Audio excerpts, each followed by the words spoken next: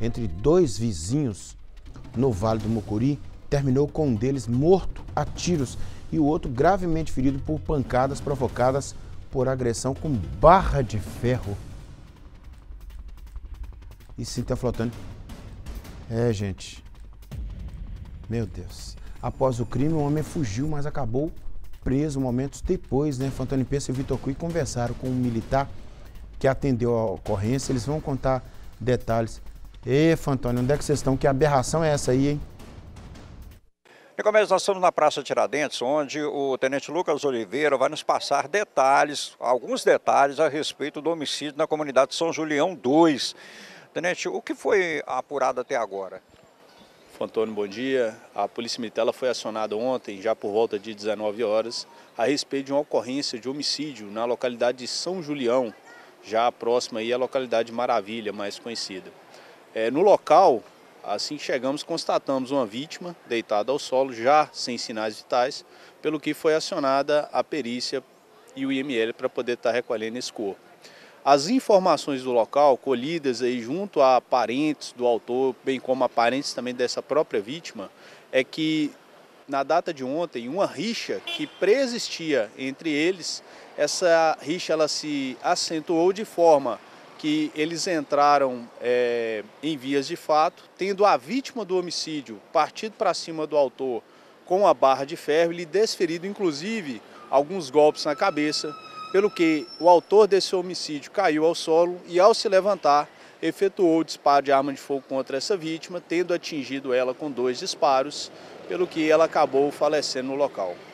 Tenente, havia algum antecedente de atrito ou indisposição entre as partes? Bom, o que nós apuramos no local é que devido a alguns cachorros de propriedade desse autor de homicídio, havia sim um problema entre eles que na verdade são também vizinhos lá de propriedade rural. E em relação a, ao, ao, momento, o fato, o local, era entre, a, entre as, as residências ou um local atípico, fora do, desse ambiente? Não, um local próximo às residências, uma via vicinal, né, é, próprio né, desse tipo de localidade. Tenente, essa é uma situação que poderia ter sido evitada? Sim, ela poderia ter sido evitada a partir do momento que a Polícia Militar poderia ter sido acionada né, desde quando esse problema iniciou, como uma forma de tentar intermediar ou até mesmo de realizar, tomar ali alguma providência. E para isso nós temos que lembrar, nós temos a, a, nossa patrulha rural que faz o atendimento a toda a área rural do município de Teoflotone. Agradecer ao Tenente Lucas Oliveira.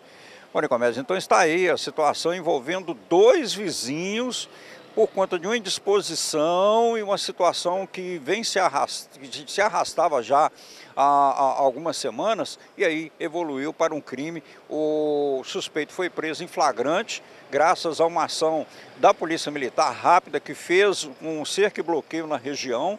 O cidadão está na delegacia, uh, já foi ouvido, vai ser colocado à disposição e vamos aguardar a apuração desse crime. Mais detalhes a respeito respeito desse crime acontecido no final de semana. Vale ressaltar, Nicomedes, que esse não é aquele crime ligado a grupos, a, a disputa entre grupos rivais. É uma situação totalmente atípica essa situação. E por que, que a gente fala isso? Por conta da paz e a tranquilidade que reina em Teoflotano em relação a esse tipo de crime.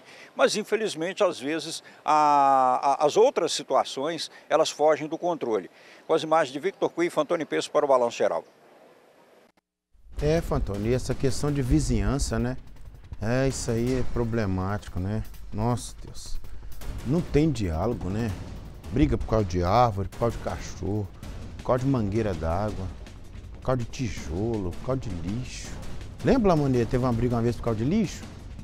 Até você me deu uma, uma, uma borrachada aqui com, com, com um negócio de lixo que o Júnior mandou você trazer aqui para ilustrar. Brigaram por causa de lixo. Esse lixo é meu, esse lixo é meu. Não usa minha lixeira, não. Gente, que ser humano ruim. Ó,